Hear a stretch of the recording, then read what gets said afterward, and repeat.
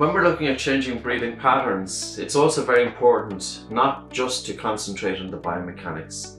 Um, too often, people are talking about taking fuller and deeper breaths, abdominal movement and lateral expansion as the diaphragm is moving down. That's all very well. That's targeting the biomechanics of breathing. But what about another aspect, which would be the biochemistry of breathing? And the two will often go hand in hand.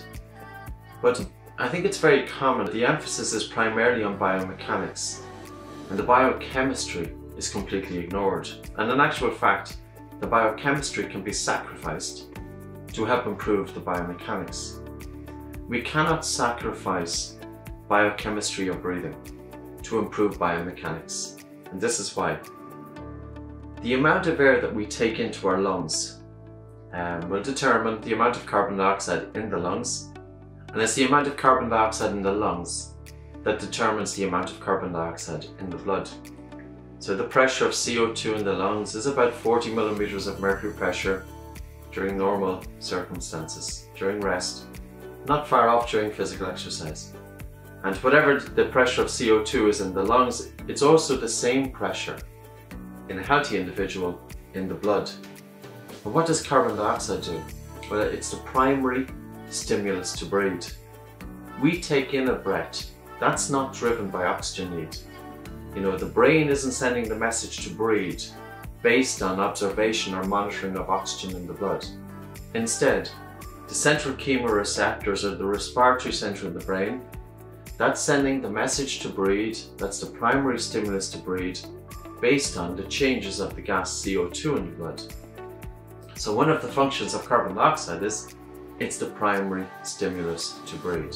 If we develop poor breathing patterns that the biochemical dimension of breathing is under par, what does that mean? Well, it could be two different aspects to it. One is we're concerned with the pressure of carbon dioxide in the blood. What is the pressure of CO2 in the blood? Is it normal? Or is, it, is the individual just breathing that bit too hard? That the respiratory rate might be too fast, the, the amount of air that they're taking with each breath is a bit bigger, and that as a result, the amount of air that they're bringing into their lungs every minute is in excess of what it should be. In other words, simply over breathing. They are breathing too much air for what they need. And what happens if you breathe too much air? What happens is that you get rid of too much carbon dioxide from the lungs, and as a result, you get too, rid of too much carbon dioxide from the blood. And carbon dioxide, it performs a number of very, very important functions. One is smooth muscle which is embedded in the blood vessels. When there's an increase of carbon dioxide, the blood vessels open up. When there's a decrease of carbon dioxide, blood vessels constrict.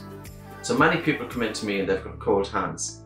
They've got cold hands and they've got cold feet. Cold hands, not the sign of a warm heart. Their peripheral blood vessels are constricted and very often that's synonymous with poor breathing patterns.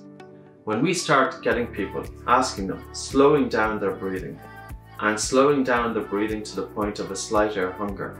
Carbon dioxide is increasing in the blood and their blood circulation improves. They start to feel increased temperature internally. They start to feel that their hands are getting warmer. So our blood circulation is impacted by the chemistry of the, our breathing. Another aspect in terms of looking at biochemistry is the sensitivity of the body to the accumulation of carbon dioxide. Now in my book The Oxygen Advantage I often wrote it as the ventilatory response to CO2. And all that basically means is how sensitive is your breathing to an increase of CO2? If carbon dioxide increases in the blood, do you have an exaggerated breathing response to the increase of CO2? Now what would it mean? Basically, carbon dioxide is the primary stimulus to breathe. And if you're very sensitive to the increase of CO2, Generally, it will mean that your breathing is going to be harder and faster. That your breathing during physical exercise, dyspnea, is going to be increased. That your breathing during rest is going to be increased. And I think this will have huge ramifications with people who are doing physical exercise. Because if you've got a strong ventilatory response to carbon dioxide, if you have a strong sensitivity to the accumulation of carbon dioxide in the blood, it means that your breathing is going to be hard and heavy so you're experiencing increased breathlessness during physical exercise. But the individual during rest, We'll say that person who is prone to a little anxiety or panic disorder. That individual, very often when I look at them, I see fast and upper chest breathing. It's really so, so common. You know, very seldom will I see slow diaphragmatic breathing in a person who's presenting to me with anxiety. And we know from the literature that up to 80% of people with anxiety and panic disorder are prone to breathing pattern disorders. So for that individual, their breathing is fast, their breathing is hard, they've got a low breath hold time, low Bolt score, which the Bolt score, it doesn't tell you the amount of CO2 in the blood, but the Bolt score tells you the sensitivity of your body to the accumulation of carbon dioxide. Very interesting score because from that we can deduce breathlessness during physical exercise, how the person is breathing during rest, and also an individual with anxiety or high stress or panic disorder. We know that when they present with a low Bolt score, they have dysfunctional breathing and their dysfunctional breathing is feeding back into their anxiety, feeding back into their panic disorder. Because often these people, they have an aversion of suffocation. They have an aversion of air hunger. And it's carbon dioxide that's increasing the air hunger. So my role is to teach functional breathing training. Biomechanics, absolutely, but not just biomechanics. As I said in the opening to this, don't train the biomechanics and sacrifice biochemistry in the process. And what do I mean by that?